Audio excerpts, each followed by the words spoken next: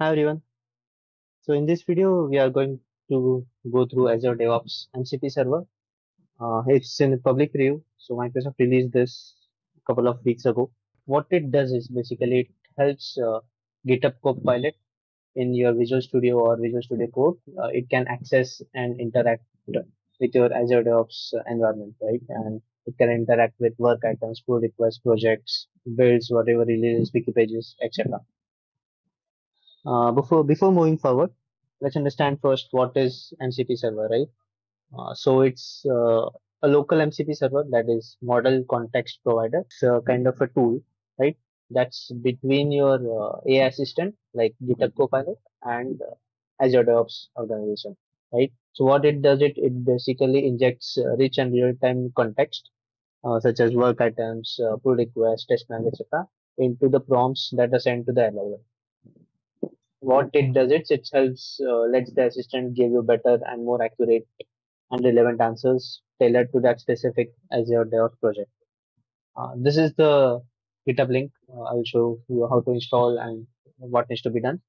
Uh, this is the GitHub link. Uh, you can find it in the description below. Let's go to it.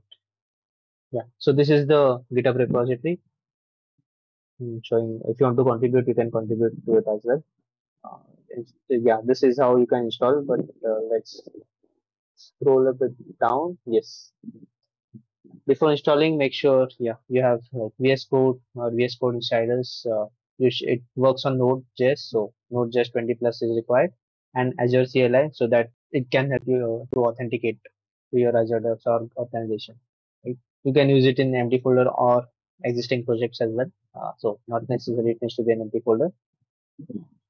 So first uh, ensure that you're logged in. So make sure you, you go to from terminal, make sure you are logged in. I'm using it in existing project. It's like a DevOps generator. This is my project. Uh, so make sure after you're logged in, uh, just click on this and it will ask you where does it want to open and once it opens then basically okay, let me show you. It will open yes and then you have to click on install. I've already installed it uh, so i'm not going to do it again yes. So that's how uh, it will get installed and then uh, you will have to in if, if it's your existing project or new project you'll have to create two folders that is .vs code and dot .github if it doesn't exist if it exists under .vs code uh, create mcp.json file. You can get the contents from here. Uh, just copy the entire content as is and paste it here right? That's the first step. And another step is uh, you have to get this copilot instructions file. This is the file. Copy this entirely. You can copy this content from here.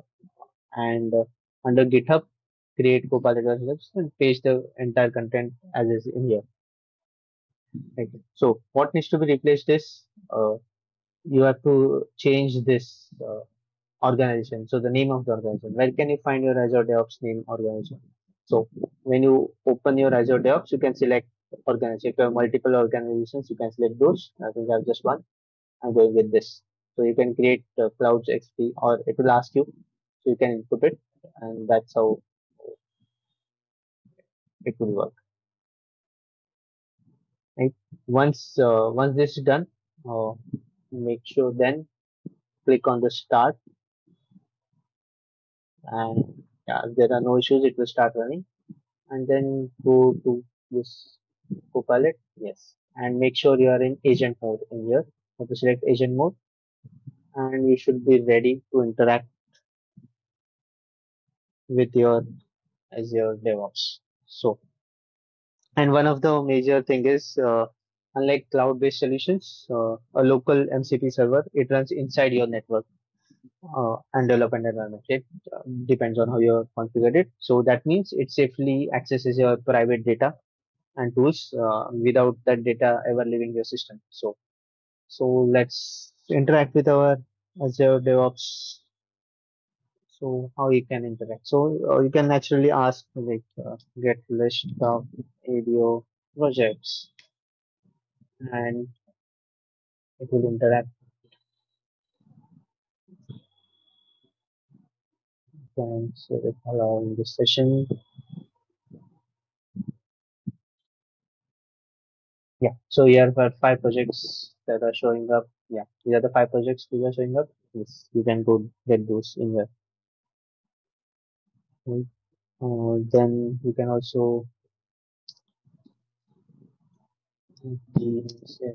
yes, this project. Let's see.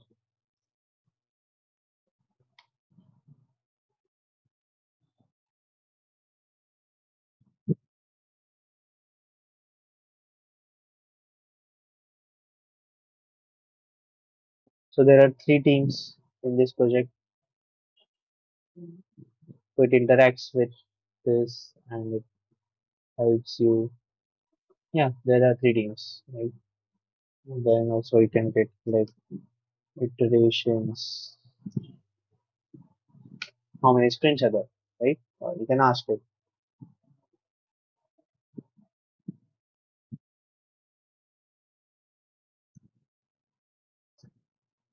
Interact. Yeah.